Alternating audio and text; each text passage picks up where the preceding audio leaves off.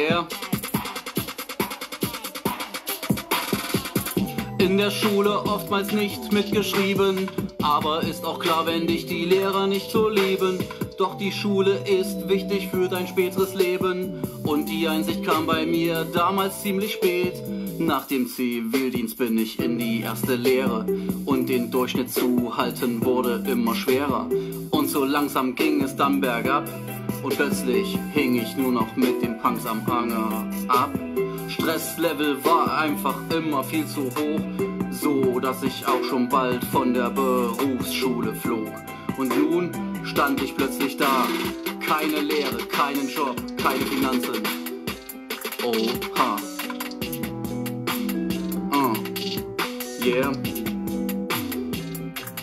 Denn es ist so, keiner kann dir sagen, wie das Leben funktioniert.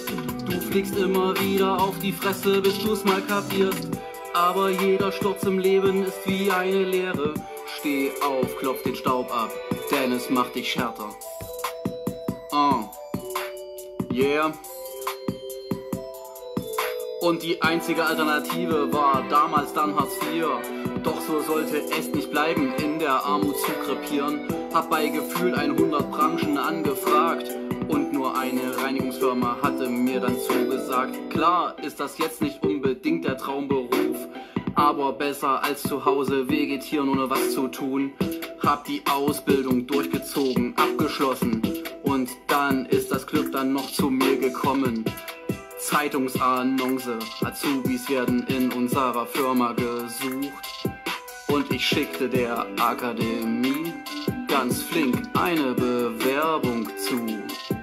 Hab ne zweite Chance bekommen und sie auch genutzt. Ab heute wird nie wieder auf den Knien für andere geputzt. Denn keiner kann dir sagen, wie das Leben funktioniert. Man fliegt so lang auf die Fresse, bis man es irgendwann kapiert. Aber jeder Sturz im Leben ist wie eine Lehre. Steh auf, klopf den Staub ab, denn es macht dich stärker. Gib mir ein Herz, wenn du das gut fandest. Und wenn dir der Beat gefallen hat, ich hab den Interpreten verlinkt.